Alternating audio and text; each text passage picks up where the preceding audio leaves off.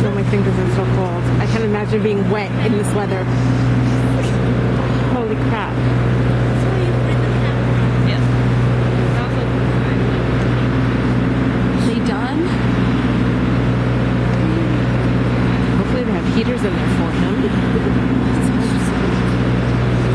That's a one-day.